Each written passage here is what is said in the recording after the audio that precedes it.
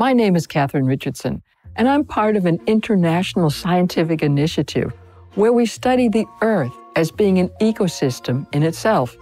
Last year, we wrote a scientific paper called Earth Beyond Six of Nine Planetary Boundaries.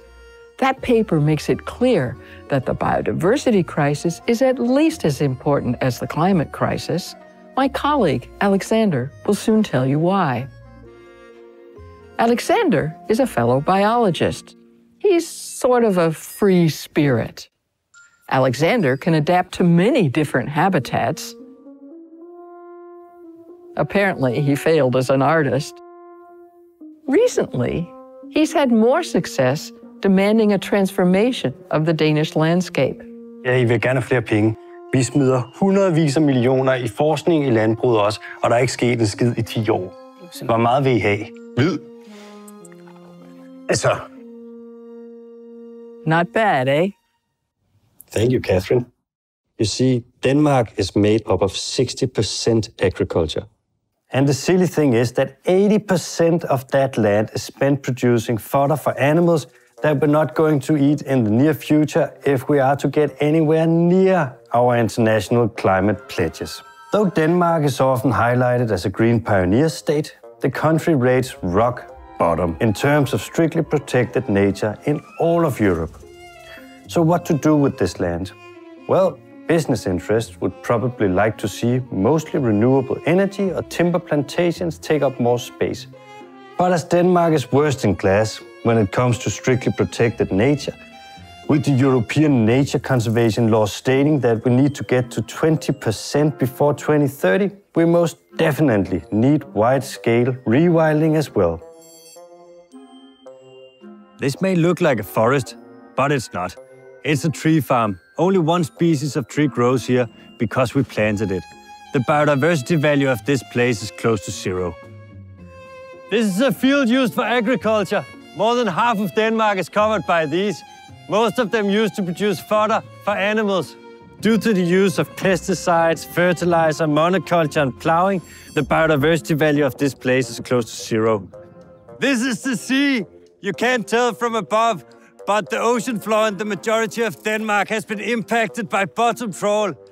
Either that, or it's devoid of oxygen due to surplus nitrogen from the farmers' fertilizers. The biodiversity value of this place is not as high as it should be. Now you might ask, if it looks clean and pretty, why should I care if it's biodiverse at all? And well, would you like to live in a desert a city with no diversity? Plus, biodiverse nature provides ecosystem services, and it's pretty difficult to live on a dead planet. So, what is biodiversity? Biodiversity is not only a measure of the species in a given area, it's also a measure of the genetic diversity within species or the interactions between species.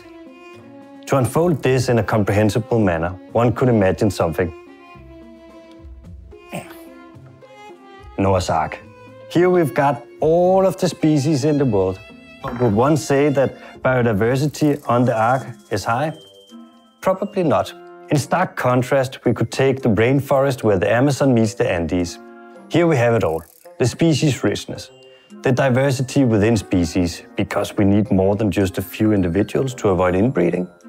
And we've got many interactions too hummingbirds pollinating flowers, peccaries being eaten by jaguars, and macaws dispersing seeds.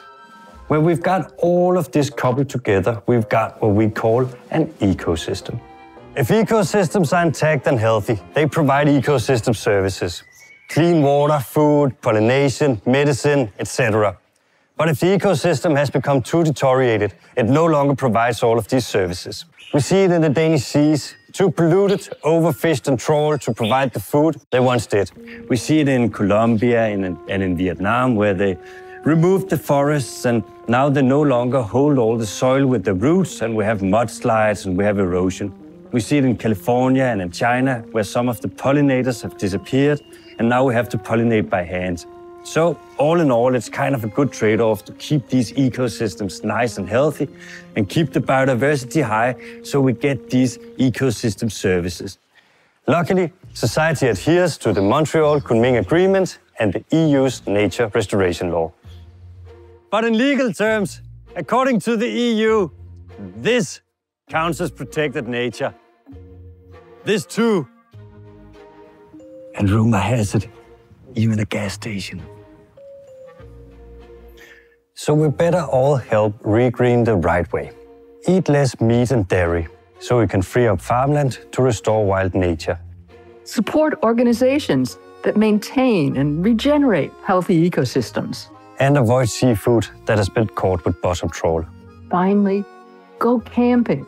Spoil yourself by being out in wild nature. Det var virkelig godt engelsk.